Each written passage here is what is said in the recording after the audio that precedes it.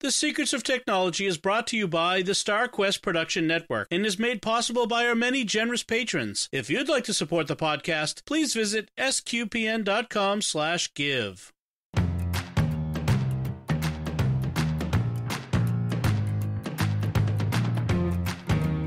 Hi, I'm Dom Bettinelli, and you're listening to The Secrets of Technology, where we discuss the technology news that's important to you from a uniquely Catholic point of view. And joining me today on the panel is Patrick Mason. Hey, Patrick. Howdy, Dom. Uh, folks, before we get into today's show, I want to tell you about another show on the StarQuest Network you're sure to enjoy called The Secrets of Doctor Who, where we talk about that uh, amazing BBC uh, TV show that's been on for oh, I don't know, since about the Middle Ages or something. But uh, ever, just the, it's it's been on forever, and, and, we'll, and, we'll, always be on, and so we'll always have a podcast about it. Uh, so you can check that out wherever fine podcasts are found, or at sqpn.com/slash Doctor Who. Now, I wasn't on. We didn't have an episode last week. Uh, I wasn't on because we we I, we can't have an episode if I'm not on. That's just the way it works. And uh, uh, I was he, I was actually away. I, I, was going away to do a college visit with my daughter to my alma mater, Franciscan University of Steubenville, in Ohio. I'm no one can see it's like Patrick, but I'm wearing a T-shirt that I picked up because you know it's one of those things alumni do when we go back to our our alma maters. Yep. Um, one of the great things about going was just seeing how high tech everything is now for students. It's like how different in ways like so much more happens via app and like you know because i went to school in the dark ages 30 years ago uh, i was i was one of the very first students to have a laptop in a classroom taking notes. Uh, mm. it was me and a couple other guys. Uh, bill oh what is bill's name? Sorry bill if you're listening to this i'm very sorry i don't remember your last name off the top of my head but uh, it was bill and i. And um Oh, also, um, Jeff Cavins was was one of my classmates. So, and uh, Jeff gave me a copy of the Catechism as a Word doc uh, at the time. All very high tech, which is to contrast it to just today, which is it just it's everything is so high tech now. Students are every student's on a laptop everywhere working. You know everything's QR codes and the the uh, even the pub um, at the student center where uh, it's not just a pub, but you know it's like pub food. They have like a DoorDash sort of thing where you can order via an app, and you know it's huh. It's just that's neat. College life is so much cooler now. Um, I, I, I, texted my wife and said, "Can I re-enroll?" She said no. So yeah, it's probably wise. I wouldn't know what to do with myself if I went back to college. I know, I know. Well, plus they have so many cool classes, and they had um, new buildings and stuff. So it's I've I've been back. I went I, I went there five years ago, but even since five years ago, I uh, it's been it's so much better. Yeah, well, yeah. I uh, you know I went to Texas A and M uh, University and at their College Station campus, and that's about twenty years ago now. And going back, I it's main even the main campus is barely recognizable. They've built so many buildings and torn old ones down and rebuilt them. Like the old engineering building is now a whole new building uh, complex. The the old parking lot that that was in has a new building in it, and then they've built like three more extra campuses just around town. yeah it's it seems to be the thing. That's what colleges do. They build buildings. They tear old buildings down and build new ones. Yeah. Because deep pocketed alumni have got to do something with all that cash. Yeah. So how about making the tuition free? But that's a whole nother. yeah, I know, right? oh my gosh. So, so uh, that's sometimes. That's yeah. not our uh, main topic tonight. Our, the main thing we're here to talk about is actually slightly college related, which is we're going to be talking about live streaming sports. So uh, it has got to the point now where um, just a few years ago, the only thing I used cable TV for was to watch local news and sports. And in 2024, I don't even do that anymore uh, because I can stream the local news from their apps and you can pretty much stream just about any sport. You don't need cable TV with an asterisk. I want to put an asterisk on it because yeah. access to certain uh, channels still requires you to enter your cable TV credentials to get to them. So that so that we'll, we'll cover so, uh, a lot of that. But we want to talk about a bunch of a bunch of different sports that you can stream and and how you get to them and and, and those things. And I want to start with the big daddy of all the big sports out there, the big moneymaker, which is NFL.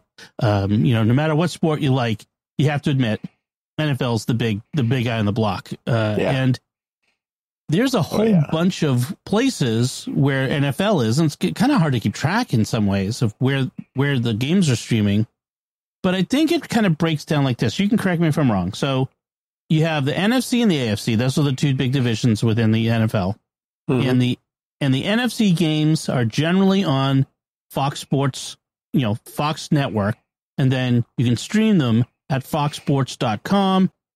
But this is one of those ones where you have to have your uh, I don't think they have a separate subscription. I think you still have to have a cable subscription to stream a game via Fox Sports.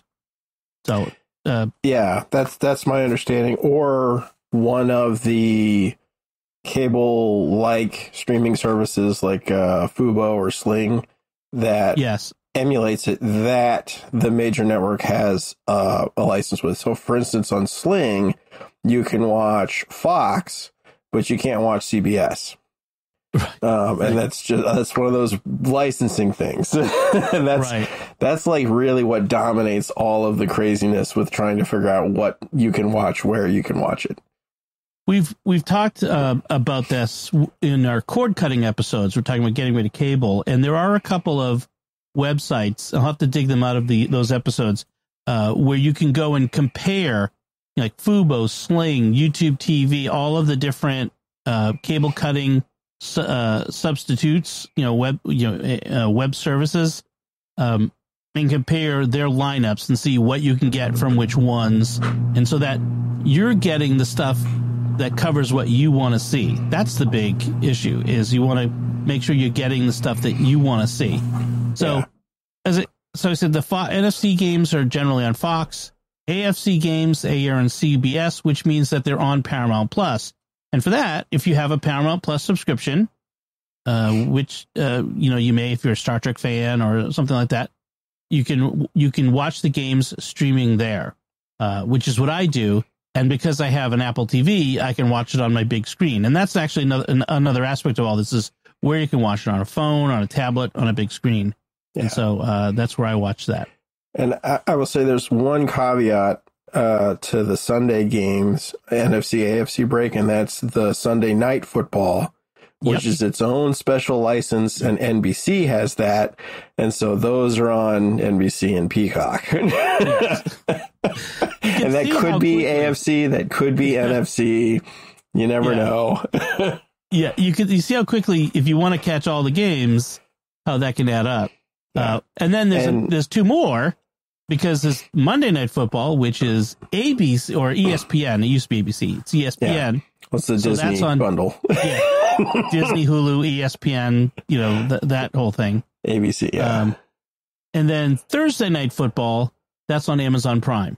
Yeah. Um, so, do you have? Originally, you didn't have to be a Prime subscriber to watch on Amazon Prime. I don't that a few years ago when they started. I don't know if they've. I mean, I, I'm a I'm a Prime subscriber, so I, I don't really pay attention. I think you do need to be a Prime subscriber now. Okay. Um, and I will say there's some weird caveats on that one too, because the very first game of the season is a Thursday night football game. But I want to say NBC owns the license rights to the first football game of the season. So that is not on Amazon Prime. it's on, you, you can blame the NFL and it's and it's you know grasping Yeah. do- every possible dollar for, And- for this mess.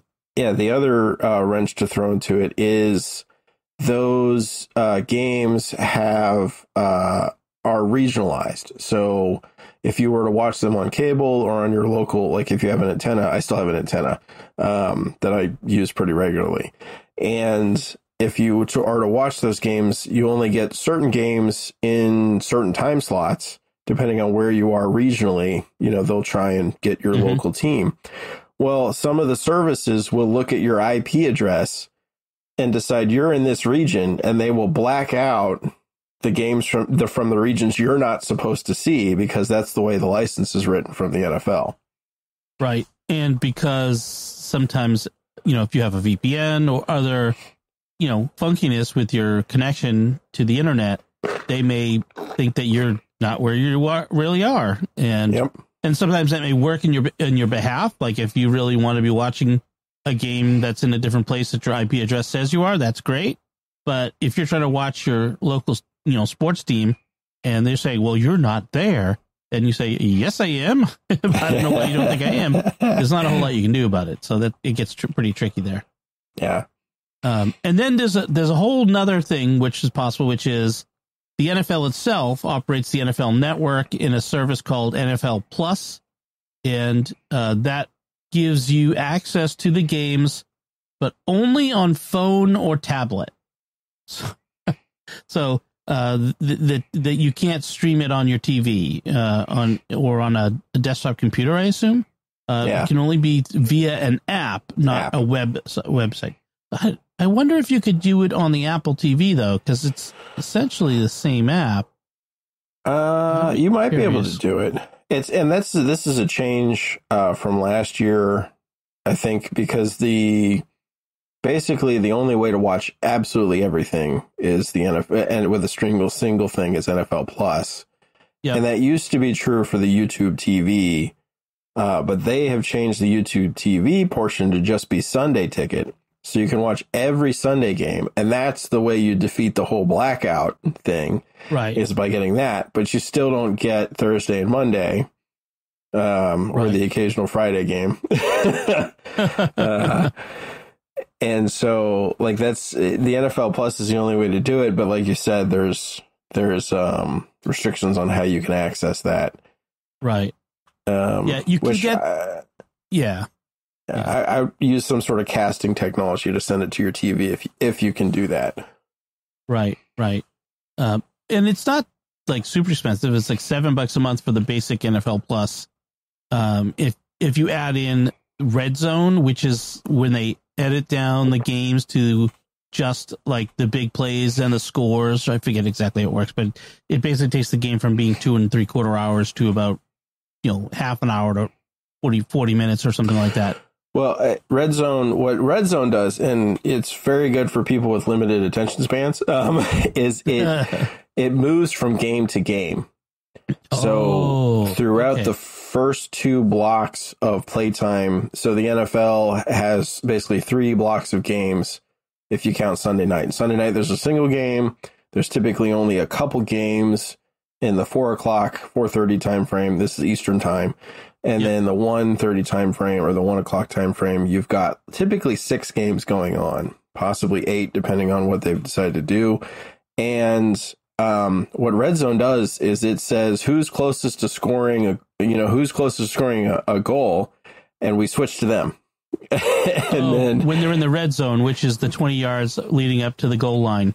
So whoever's closest to scoring a touchdown, that's what you're watching. Yep. Uh, okay. And then you switch to the next one. Uh, I said goal, didn't I? Yeah, I meant touchdown. Ye- Sorry. you sound like such a noob. Are you really a football fan? Uh, so that may be, uh, I don't know if it's the most complicated set of restrictions and deals because the college sports, you know, especially college football, is also kind of all over the place too. I think. yeah, Um, it's fairly complex. I tried to look at it, and it looks like really, if you want to watch college, like there are several cable channels dedicated to college sports, and those are all mostly on things like Hulu Plus, YouTube TV, Fubo, Sling, and that sort of thing. Um, there are some college games available through your Paramount Plus, your Fox Sports, your Peacock. There's a there's like a handful of college sports there. Um, so it's really all over the place as far as I could tell. Is that is that correct, or what do you think? Right. So it, it is, and that's because um, you know, and this is this is my opinion, but the NCAA is a joke. Um, it's not good at negotiating with the conferences or between the conferences or on behalf of them. So basically, the major conference, sports conferences, all go out on their own to make their own TV and, and streaming deals. Uh, and this is this has actually been a huge factor for the sport in general the last two years because we saw the breakup of an entire conference. The Pac-12 uh, went down to the Pac-2 uh, over the course of a year because of bad TV mm. deals, basically.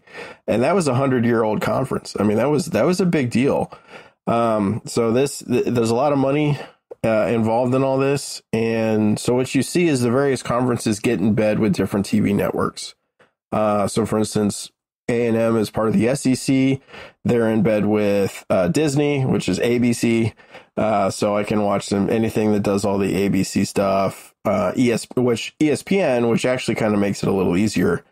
Um, so with that, with college uh, ball, what you kind of have to do is okay, if I want to watch this team, right, whatever my team is, right, whoever that is, then I need to figure out where, what network their conference is, is being, you know, hosted by. Because uh, I want to say Big 12 is on Fox. And I want to say Big 10, maybe CBS, or it might be opposite. Because last year the SEC was on CBS. So, like, it, and it changes every year.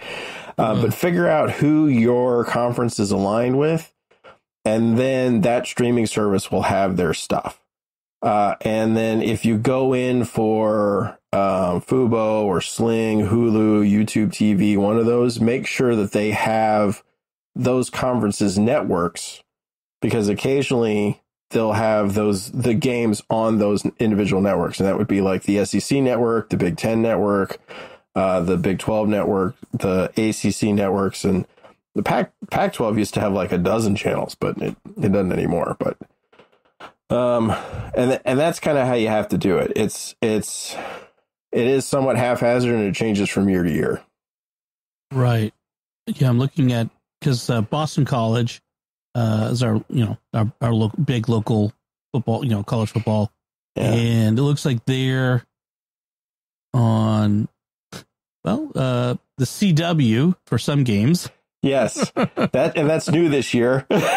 that's... Goodness. Uh, and then ABC, ESPN for others. Yeah. Um. So th- so it's basically you got to just you just got to hunt for it, really. Mm-hmm.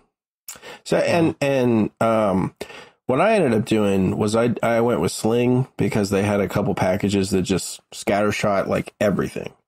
Um, and basically, the only thing I was missing was Sling with CBS, and um, for me, it, it didn't matter because I had everything I needed through uh, the SEC Plus stuff, so I was good.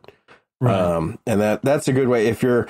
And I'm I, if, as far as football is concerned, I'm not just a fan of the single teams. I mean, I am, but I enjoy the sport as a whole, and so I will watch games that have no bearing on, on my team or the conference I'm in at all. So having that kind of flexibility is is nice for me. If if you're just a fan of a single team and you're only interested in watching their games, you can be a little more targeted. Okay. All right. So let's move on to something that's a little more a little more straightforward, uh, which is Major League Baseball, which is as we're recording in the midst of uh, the playoffs heading up to the World Series. So they just stream their own stuff you know, they do all their own streaming. It's MLB.tv. You subscribe to the season and postseason separately. Um, so when you subscribe to the season, you're generally subscribing um, subject to certain blackouts.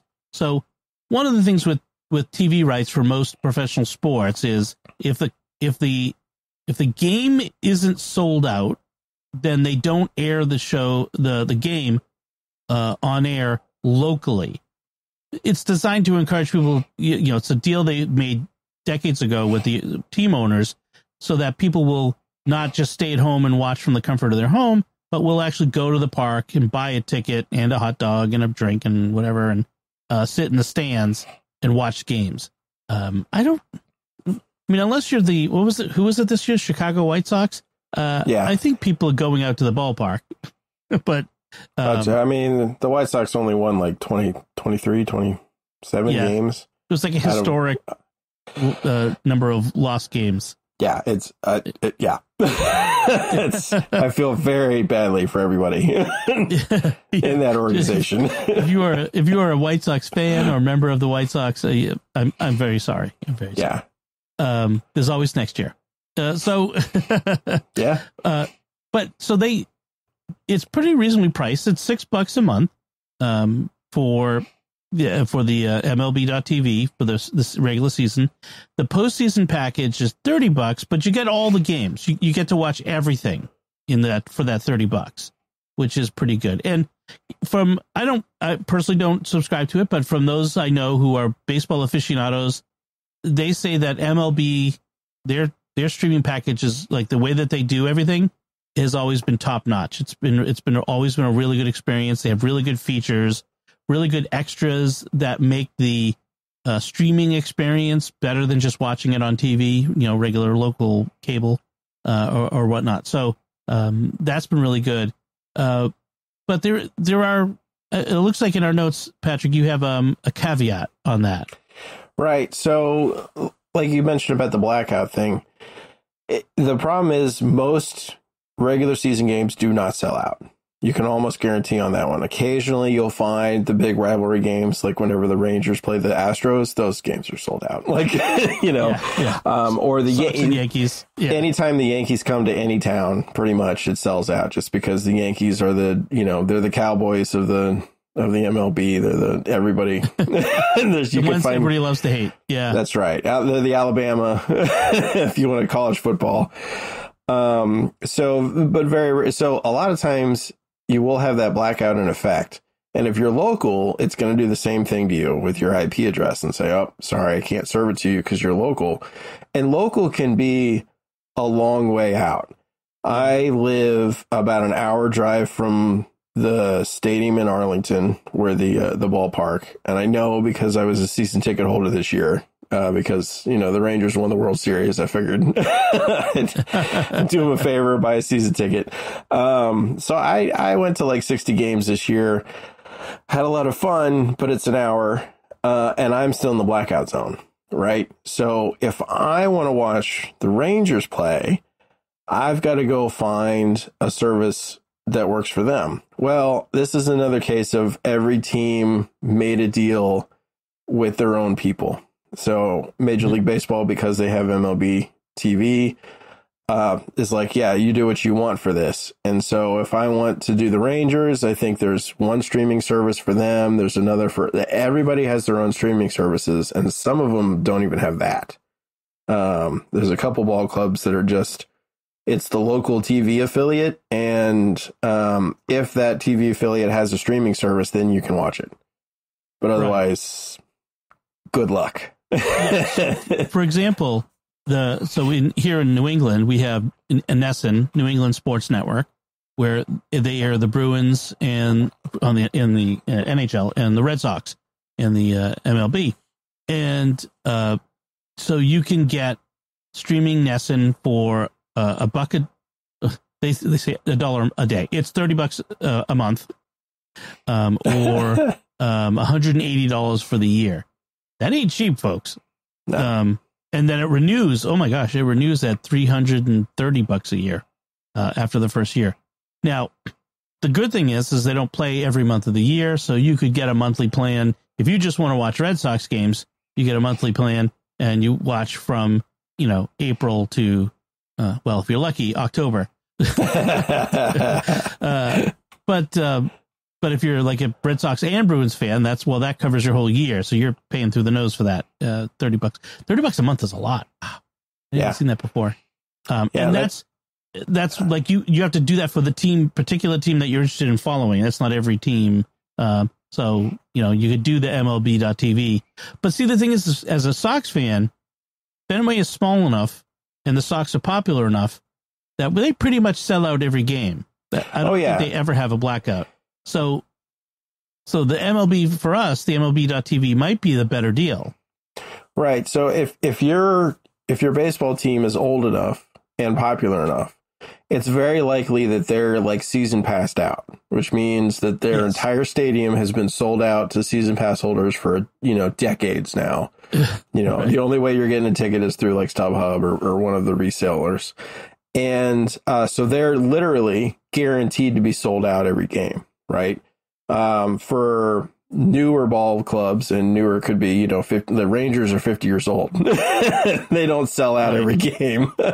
Um and they have a nice big new stadium. Oh yeah. Yeah. It's a 40 41000 i want to say Yeah. 42000 it's huge. So Even that's the other thing. expansions at, at Fenway, that's like more than twice the size. Yeah. right Um, so those are things to keep in mind with that. So um, you may you may be again with MLB, you may have to hunt around a bit to get the one that you can see. Now, what about NBA? Do they uh, does the NBA have its own NBA.TV? um Yeah. ish it it's it's a little i think and i don't follow uh, the nba nearly as closely. I typically am kind of a postseason guy when the nba comes around. So- and then then it's easier to get a hold of the stuff. But I, I think during regular season the nba sort of equivalent to the mlb tv it doesn't cover every game. Um and that is that is really the problem with watching NBA um, is that it's on a lot of different streaming services, but good luck finding your team. like, Right. you know, in any given like two week span, you know, I, I'm I'm from I live in Dallas. I'm a Dallas sports fan, uh, and I I follow the Mavericks. I might there might be one Mavericks game on air on any given streaming device in a two week time span, but they're going to play eight games in that time frame, and so that that's kind of the the problem is trying to figure out what what services you have to have to watch what games you want to watch to watch your team is Right. is problematic. Uh, you kind of just have to subscribe to like everything. Right. So they they do have like a subscription service NBA uh, on NBA.com like for, t- for NBA TV.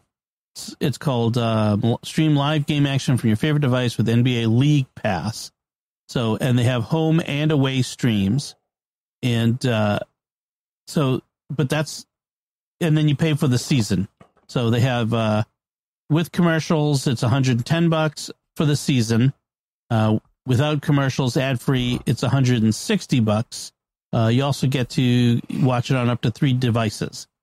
Um, so, uh, so that's not too bad. But they also have a feature where, again, you can log in with your cable TV or Fubo, YouTube TV credentials, and and get what's available on those channels for you know through the NBA NBA TV you know on their website. So you're not really getting a huge advantage by doing it, but maybe you're on your phone and you I don't know you you, you can't access your Fubo or something. I don't know why you would prefer to do that or not. Um, but in any case, um, so th- there are those options. But uh, what you're saying is even if I subscribe to NBA TV, um, do I not get all of the Right. games? you don't get the blackout. Oh, it still Yes. blacks out. So just like the Major League Baseball uh, legalistic stuff, they black out NBA games, and it's almost actually a little harder uh, blackout rules than Major League Yeah. Baseball.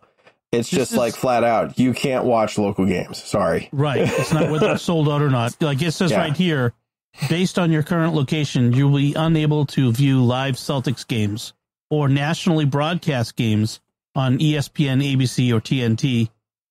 So I'm paying 110 bucks so I can watch a bunch of teams I don't care about. You know, Right. if that were the case. Yeah. You have to be someone who loves basketball in general and doesn't want to miss anything. I'm Right. not sure who pays this. yeah.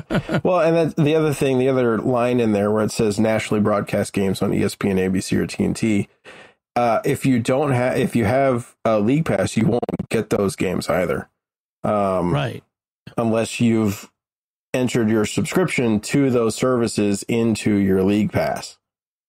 I see. I see. Yeah. So, Right. so you have to subscription have to have a subscription to those services. Right. right. Uh, yeah. So basically, there's not really a good solution for NBA. There really isn't. Um, you know, it, at least I would say at least college has the the you know the individual conferences aligned with certain networks, and you can go through those. The NBA doesn't seem to have a real good way to do this, um, and it's just most of. I think the NBA website has a way to look at you know your your team and where they're what they're going to be broadcast on so you can look at that schedule and, and sort of plan accordingly, but you may end up having to subscribe to three to five services by the end of okay. it. And the WNBA is similar, but yeah, it's if, it's pretty much the same. I mean, it, it yeah. I mean, I think it's some of the same management folks at the top, so a lot of it runs right. exactly the same. Um, and then the yeah. NHL is um, how, how NHL is probably similar to MLB, where there also a lot of teams have regional channel sports channels that they're already affiliated with. So, um, when you want to stream, is this probably the same thing? Pretty much. Um, if if you have so they break it into what's called national games and regional games, and that's really broadcast stuff. So on Nash for national stuff, it's all going to be on the Disney channels, so uh, ABC, ESPN, TNT. So you should be able to get those with ESPN Plus. So anything that's broadcast nationally. Um, for regional stuff, it is team by team. So um, you you kind of gotta. It's very similar to Major League Baseball. They don't really necessarily have the same blackout rules, so that's good. But you go find your team, you find out what streaming service they use, and you you subscribe to that one. Um, again, some of them don't use streaming services; they use the local TV affiliate, and if they don't, if they're not associated with the streaming service, you're almost out of luck. Okay. Uh, and, and, that's of uh, course in the U.S. Yes. and if you're in Canada, the rules are different. of course. So, um, in Canada, you, what, what, do you have? Um, uh, service for national games and regionals for the individual. Right. Teams? So, but the service for the national games in Canada is either Prime Video or Sportsnet. So they're Amazon not Prime. Yeah. Um, yes. Yep. Yep. Okay. All right. So at least it's a you know something people know. right. exactly. yeah. yeah. And so, and then you had soccer or uh, football, as the rest of the world calls it. And although the it's, British it's soccer, Dom. No. yeah, the original. let's be clear: the original British name for the sport was soccer. They're the ones who named it soccer. They're the ones who changed. So this, you know, let's keep yeah. let's keep that uh that straight here, you, you soccer fans. Anyway, uh, now that one I know is uh, if you want to watch Major League, you know, American Major League Soccer, that's Apple TV Plus. Apple has exclusive deal with them. If you have a Apple TV Plus subscription or an Apple One subscription, which is the bundle of all the Apple services, you're you're there. And if you have an Apple Vision Pro, they're actually showing parts of some games in Vision in 3D, like oh. on the oh. field, which I think that would feel stressful. field. Ah, the ball's gonna hit me. Oh wait, no. yeah. um. So so you can watch the MLS every game is available on Apple TV, which is great. Uh, but there are there's more than MLS for when it comes to soccer, right? Yeah. Yes. Yes. And I, I will say though, fortunately, the major soccer leagues have all kind of like zeroed in on a single service, and so if, if you have a league that you like, you you can figure out the service real quick. So for uh, for EFL, that's the English uh, football leagues. For the Premier League, they do everything via the NBC family of networks. So if you're going to stream, it's going to be Peacock. Okay. Um, and that's just that's it. Like, and, and it's it's just so easy. Like, I just I wish. I wish the the American sports would get in the well, other than Major League Soccer because they did it too, right? Apple TV. Um, if you want to watch uh, EFL, and I bring up League One specifically, um, because it's the league that Wrexham plays in now because I got promoted in April. Uh, right. Spoiler, I guess. if you if you're watching the documentary but you're not paying to the paying attention to the actual football itself. um, but uh, League One is actually on Paramount Plus, so they're affiliated with the CBS stations. Okay. um, and and ESPN Plus um, for some reason, and some of them on Discovery because of the Paramount. I, I don't know. It's it's kind of weird. Um, and then if you want to watch La Liga, which is the uh, Spanish uh, league, that is on ESPN, uh, ESPN Plus. If if And you then- ever wander into Yeah. ESPN uh, Deportes, uh, that channel, that's what you're going to watch. like 90% of the coverage of that channel is La Liga uh, Okay. uh, games. And then uh, just like a few other things, like if you want to watch PGA Tour, that's on um, the uh, the Paramount Plus. Um, you know, because the the the deals that they already have with CBS, which owns Paramount Plus. So, and also like the NCAA March Madness, that's all going to be on Paramount Plus, that sort of thing. So, um, yeah. So the bottom line is, it's all very complicated uh, to Yeah. watch sports via streaming, and the hope is, is that someday this can be simplified. Uh, you know, whether through a portal or like or like Apple did, where just one one entity bought up the rights to broad to stream everything from that sport. I mean, uh, that that's. I think it may be the only league that is just on that is exclusively on one outlet, uh, Yeah. uh, Apple TV Plus. Yeah. Um, Well, So- and you know, if, if anything, if anything was going to rapidly technologically educate large swaths of the male population of the United States, it's the complexity of trying to watch sports uh, via streaming. right, right, right. There's always talk every year about like Apple snapping up some, uh, you know, NFL streaming rights or something like that. Um, it would be interesting to see a company like Apple come in, or even Amazon, to expand its footprint from Thursday to other times. Yeah. Uh, to, to really to see how that would go, I'd be curious to see how a tech company would handle this as opposed to a broadcast company. yeah. Um, so Well, uh, interesting. Bally Sports uh, kind of attempted to do that with Major League Baseball a couple years ago, and they did it so poorly it more or less flat so fell flat on its face. You can Yeah. you can still see there are uh, affiliates of Bally Sport or subdivisions of Bally Sports that still stream some of the uh, a lot of the uh, individual teams, but as a whole, they tried to do it kind of as a whole, and it just sort of it didn't really end up Yeah. working. Yeah. There's too much money, too Yeah. much money involved in all this, and I- that's probably what keeps it all so messy. Yep. Everybody wants a piece of the pie. All right. Well, I don't know if that helped anyone. you can let us know, um, and if we've missed something, uh, you get or you get some really good tips on how to get through this morass of you know streaming sports.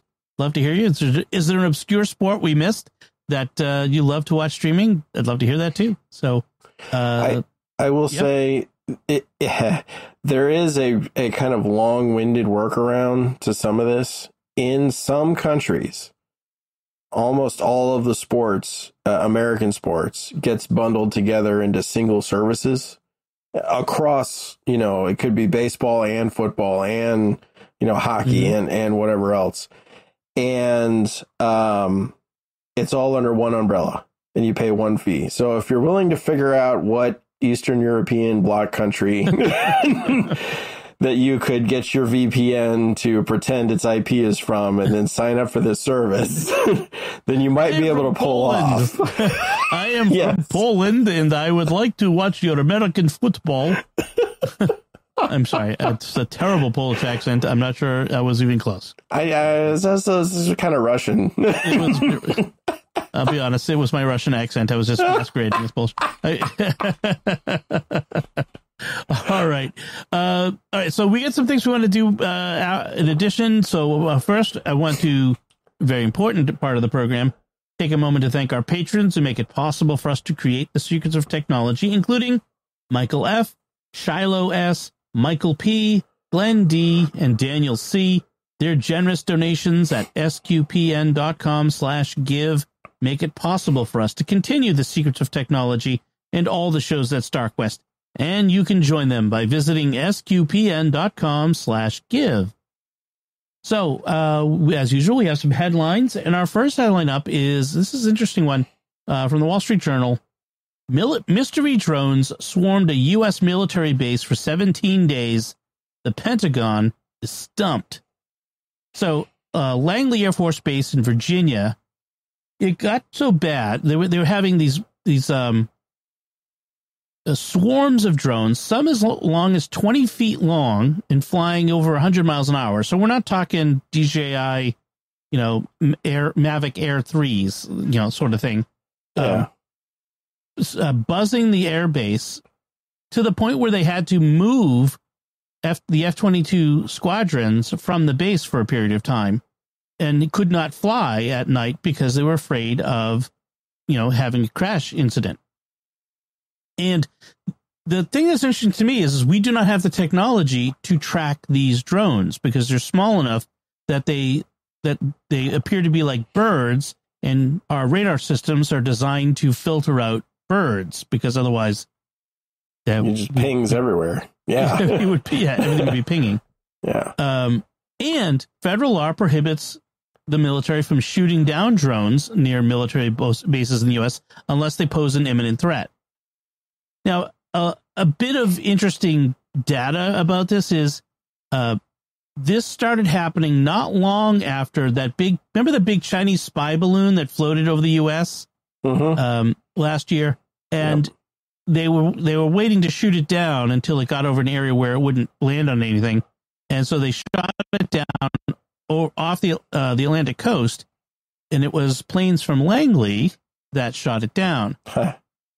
So it's possible this was some sort of retaliation. But uh, one of the things that comes out in this article is they talk about how uh, the military, this is not new. I mean, just the intensity of this particular incident was new, but uh, military has been seeing drones all over the place near its bases throughout the U.S. Uh, spying, probably, prop, you know, is, is, is probably what's going on. They're, they're spies. Uh, so there's more to the story, but uh, any initial thoughts on this, Patrick? Yeah, I, what I would say is that uh, you know I work in a power plant, right? And we're a lot of times we're kind of considered restricted airspace uh, due Mhm. to our you know fundamental nature to everybody's reality anymore. Um, and we have seen a significant uptick in drone flying in and out of our our airspace, I guess to to put it. Um, which is interesting to me from a couple standpoints. A lot of the drone activity is is smaller drones. Um, they don't typically move nearly that fast. It's not like military necessarily military grade stuff, Mm. and they usually fly in at night. Um, which uh, we have a lot of large structures at power plants, and so it's interesting to me we don't find more broken ones because you Mhm. figure they we, we don't have a lot of places that are super well lit because we don't send people there a lot. Right. right. Um, so they seem to have some amount of sophistication to them, and we saw a real uptick. There was a time frame a couple months ago where there was a lot of uh, random threatening letters going out to power plants across the country, and we saw an uptick in drone activity around the same time. And it, I won't say it's completely died off, but it's died down uh, since then. And so, I, the reality is, it's no telling like where these things come from and who's who's controlling them. You really have no, Right. nothing. And um, that'd be interesting to see if they could figure this out. Well, and given what's going on, like in the war in Ukraine and in Israel, the fact is, is over the past couple years, drones have become a huge part of warfare. You know, we see constantly drone attacks on power plants and on military bases and on other targets like that, um, of various sizes. And because drones, unlike say missiles, are maneuverable and they can stop short and they can be remotely piloted and all of those things and they're relatively low cost compared to say planes and, and whatnot. So that's concerning. Um, you know, if if they're connected to that, I did like the part of the story where it said when they the Pentagon convened a, a task force, they included the Pentagon's UFO office or OSAP, which is a the uh, Jimmy Akin and I have done an episode of Mysterious World on on this office. Um, now, UFO, contrary to the the popular you know thought, does not necessarily mean aliens. It just means unidentified flying object. Flying It could be whatever. um, but they usually focus on um, unidentified flying objects with unusual flight characteristics. I think is how they put it. Uh, Yeah. that, that do things that are not expected. So, uh, one of the interesting parts of this is they actually caught a guy who was flying a drone near the Newport News shipbuilding uh, uh, place out in Newport News, Virginia, uh, where they build sub uh, submarines and aircraft carriers. And this guy is like the worst spy ever. So he rent parked his rented Tesla near Newport News, uh, 11 miles from the Langley base, and was flying his his drone, um, and it got stuck in a tree, and he couldn't get it out of the tree, so he left it. And uh, when officers showed up, well, before he left, the officer showed up and asked him why he was flying in bad weather, and um, they told him he had to call the fire department for help to get it down. Instead, he went back to the air, uh, to, took a Amtrak to Washington D.C., um, flew to Oakland, California the next day, and was boarding a plane to a one with on a one way ticket back to China when he was arrested because the FBI got a hold of the drone and found out that he had been photographing Navy vessels in dry dock and including shots taken around midnight. Um, and his claim was that he's just a, a, a ship enthusiast. And so that's what it was. Yeah, as I'm a ship enthusiast, I don't go down to naval restricted naval bases and fly my drone overhead in the middle of the night.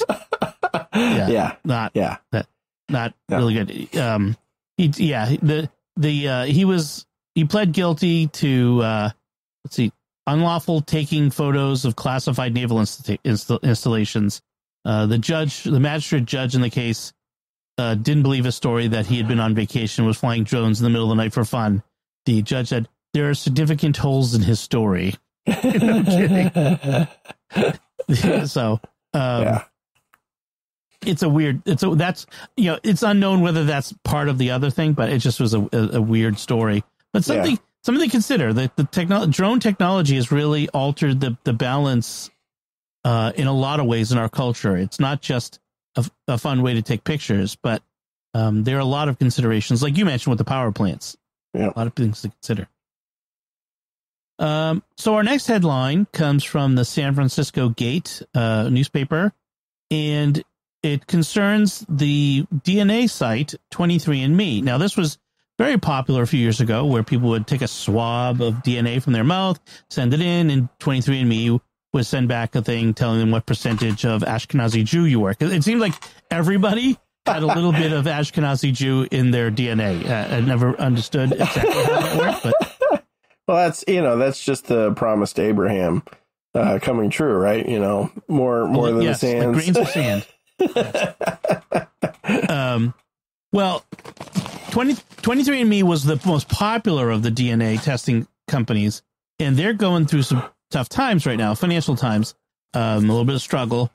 And one of the things that's come up is that they could potentially be purchased by a third party.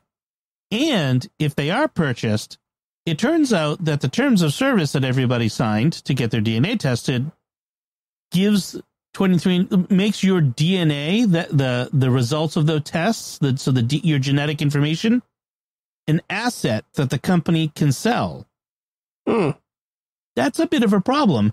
And Huh. even if you're not you're not someone who d- went and took the test, if someone in your family took the test, that can still say something about your you. I mean, the police have been using these DNA, mitochondrial DNA to connect um you know people like the uh the the golden state killer to his crimes because they had his dna from the crime scene but they didn't have his actual dna but they had a, re- a relative and connected him there's enough of a commonality in mitochondrial dna that you can find relatives and that that sort of thing so um this this has people concerned, uh, civil libertarians and others. Um, and uh, one of the things that that is being suggested is if you have a, an account at uh, 23andMe, you should go and download your data, which you can, and then you can tell them to delete your data and close your account. Um, and they they they say that they will delete your data, Mhm. but federal and California state law does require them to hold on to that data for for two to three years. So um, even though they say that they're going to delete it, it's not going to be immediately. So if they get sold, that could still be sold to someone else uh, before it's required to be deleted. So, Huh. Patrick, have you ever had your DNA tested with one of these services? No, not not with one of those. I I've had it tested um, for medical Medically. reasons. Yeah. Um, yeah, kind of. You know, when my son's heart condition, we we all got tested to see if we had because there's a whole bunch of ongoing studies to try and determine why uh you know certain portions of the population have these diseases and others don't. right. So we've done it for that kind of stuff. Right. And HIPAA Um, applies to all that. Yeah. Yes, yes. So I'm, you know, ironclad as as about an ironclad protection you can get for Right. for data is HIPAA. Um, this is weird though because it's like it's like your blueprints, right? Like, Yeah. do you own your blueprints? Do you? I mean, Right. It's, it's like your fingerprint. You can't alter your DNA. If if you get your identity stolen through the DNA, I'm not sure how that would work, but just you know, but if someone you, you can't change your DNA, you you are that's who you are, and like your fingerprint. So, yeah, Huh. it's bad. It it it's kind of, you know, oh man, I just I've got like a sci-fi thriller now where you know some guy steals the the DNA data and then prints out like fingerprints and then goes and commits a crime and then this other guy's being you know Mm, that would be interesting. yeah it turns And out to go back to some senator and DNA leave DNA evidence like hairs or whatever or skin cells Yep. around. yep Oh man, that's that. ooh, that is a good thriller. Maybe someone should write make that. Um, Yeah. yeah. Well, they can't. now that Copyright We've talked SQPN. about it on the podcast. okay. We'll have to make it ourselves. yeah Uh, yeah exactly So uh, at this point, like I, my both my brother and my sister have done the swabs, like in their Oh. like their they and their spouse, and I've like when I was looking at the story, I immediately sent them the link and said, "You need to go d- delete your data. Like you like this is bad." And and honestly, it's like it's like contact farming. You know, whenever you sign up for a new service and it says upload your your contact database to see if anybody else is a member, and what you're really doing is doxing everyone in your uh, address book yeah by giving out all of their contact information to this company. Yep. You know, it's like, uh, thanks for doxing me.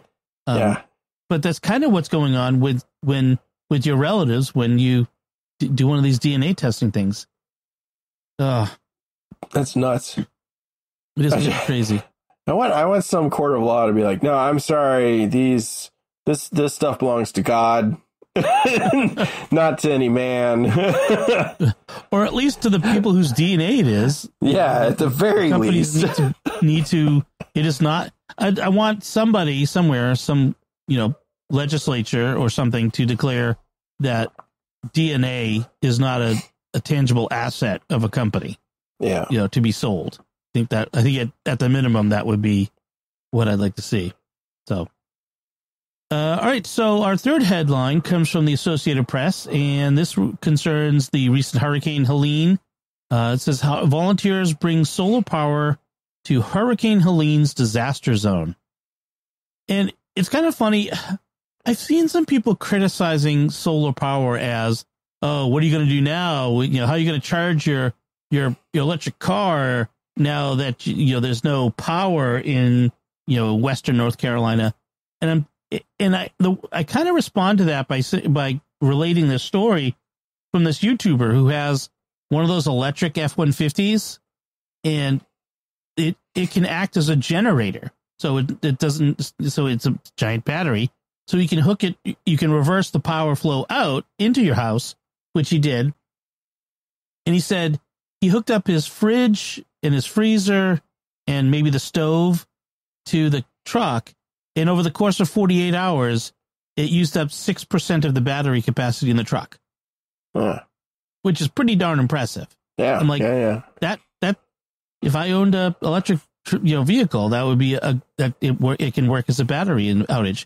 Well, this story is about solar, uh, and they they talk about how so many people have they've had their power out for weeks now, and they're trying to live off of these little, you know, diesel or gas generators, which are not designed to run for weeks on end. And they have to get gas to power them, which, you know, sometimes they have to travel for hours and hours to find gasoline to, to bring back to power them. And it's not just for convenience sake. This is, you know, some of these generators are running fridges that are keeping insulin cold or powering uh, medical uh, equipment or any, something like that. So there's this nonprofit called, um, what are they called? Uh, duh, duh, duh. well, let's see. It, it's, it's there's a nonprofit called the Footprint Project that's working with uh, local solar installer companies and the local electric utilities to set up to provide free uh, solar panels and generators uh, and power inverters to communities. And usually they, they bring it to like the local, you know, community distribution center for aid, like uh, the local church or fire station or something like that. And they set them up there and they can, you know, power the fridges or what whatnot to keep or the communications infrastructure to keep people connected. I think this is really awesome, and it makes me think about how um, I have solar pa- panels, but I don't have a solar battery. Uh, the um, it, ours is a uh, basically solar on demand, so that during the day it powers everything in the house, and at night when it's not getting any you know solar, uh, we're running off the electric grid.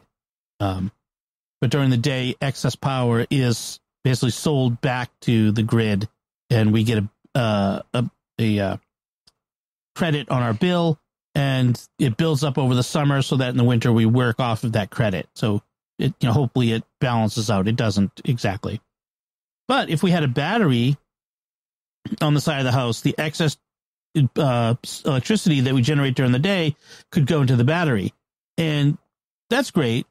But when the power's out, when the grid is down, you know, we'd be sitting pretty as long as there's sunlight and a tree hasn't fallen through our solar panels. that would be a prerequisite.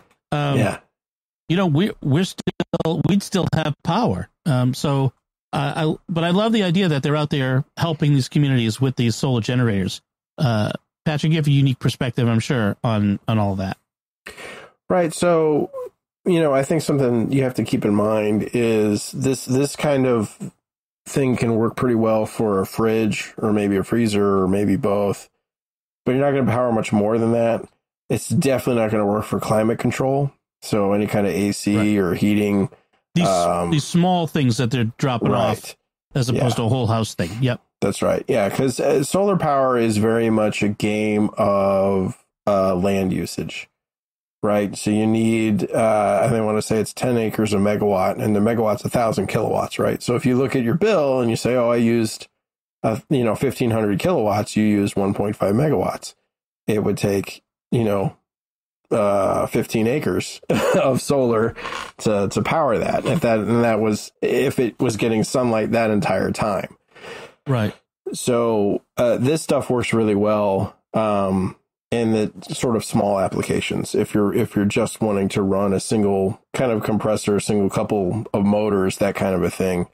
Um, and it's really what's really awesome about it is you can drive these in right because a lot of time the road infrastructure is more hardened than your electrical infrastructure and set them up and then power a house possibly two if you get enough space to put it up um, because a lot of times the local the the lines in a community area will be underground. They'll go underground at a transformer, and the high mm-hmm. lines that supply them, or not, the medium lines that supply them, will be down. But you could hook into there, and you could potentially power a neighborhood this way, if you could get enough surface area. Yeah, because uh, that's that's always the game.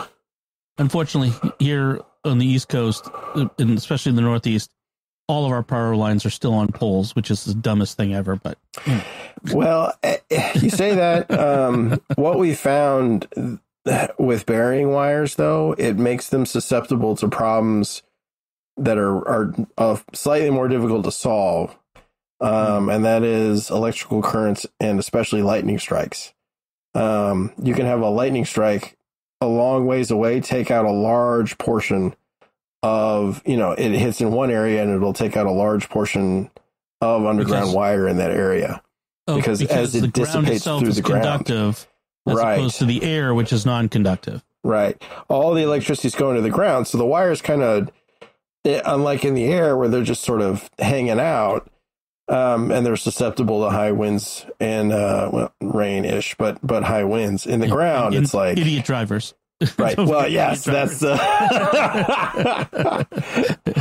um, Yeah. but and the cost is about uh, seven times.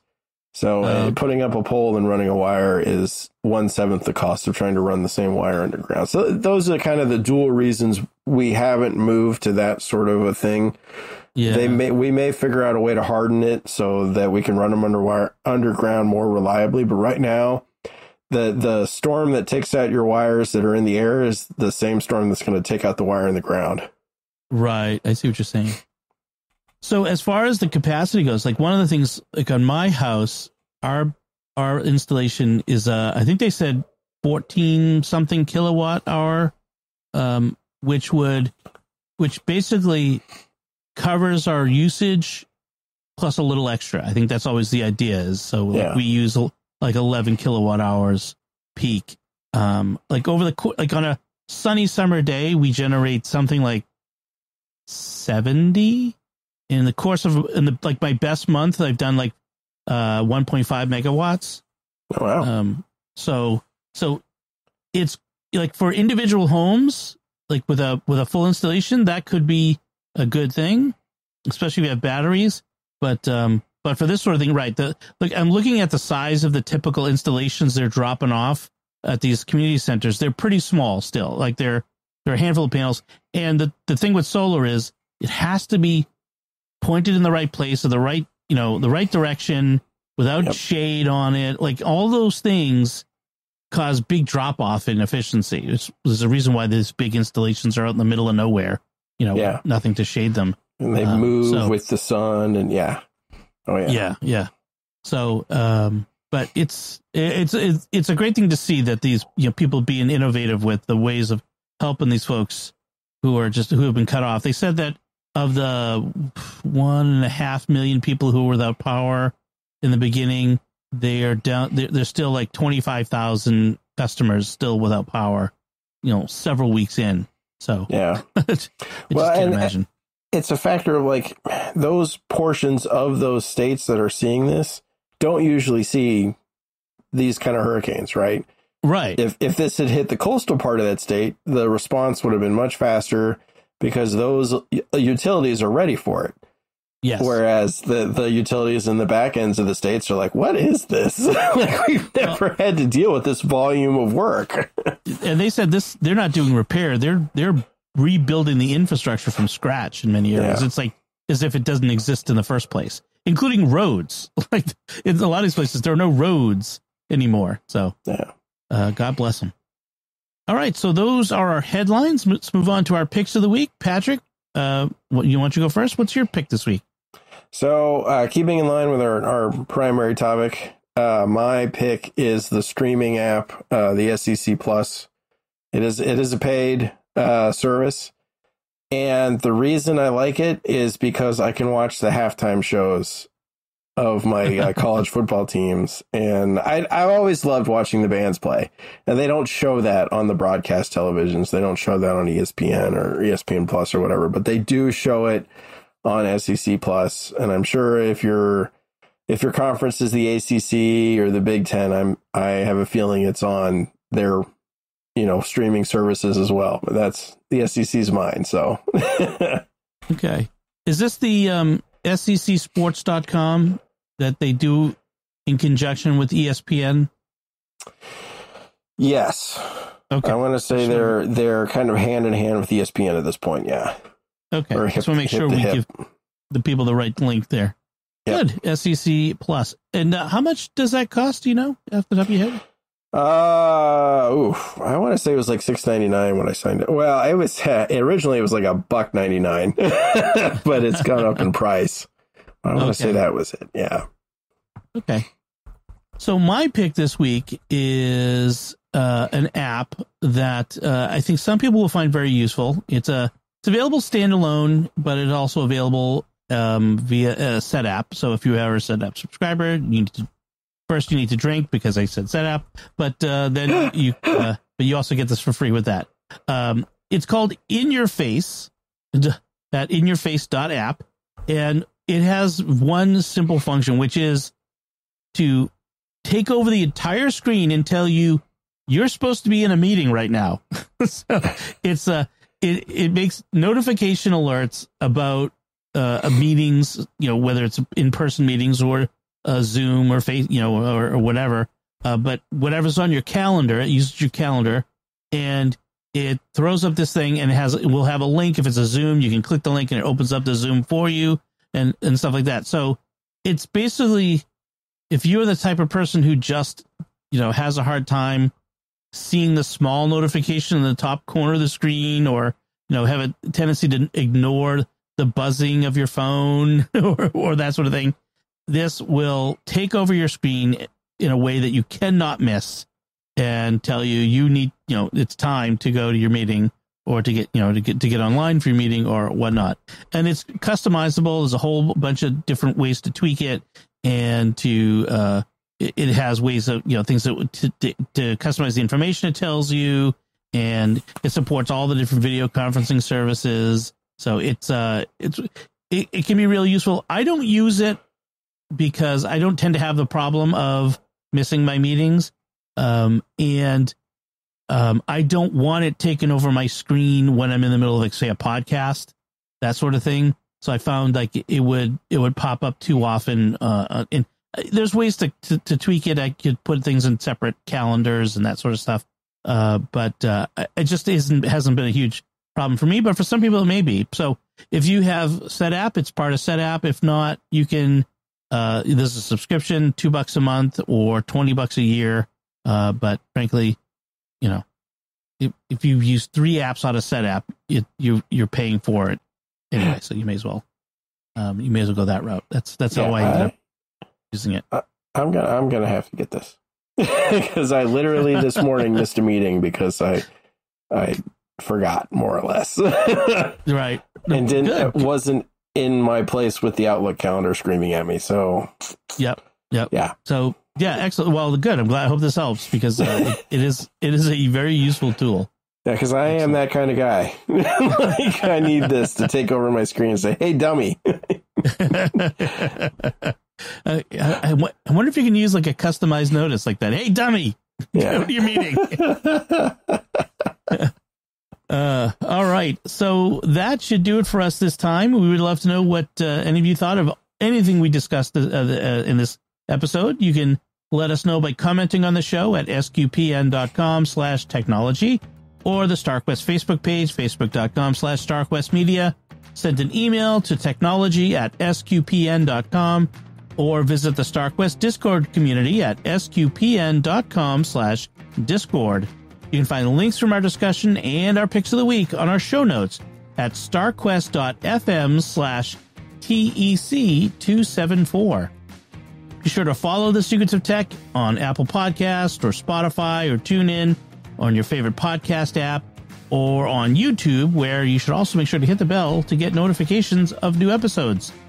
So until next time, Patrick Mason, thank you for joining me and sharing the secrets of technology. Uh, you're very welcome. Thanks for having me on. And once again, I'm Dom Bettinelli. Thank you for listening to the Secrets of Technology on StarQuest.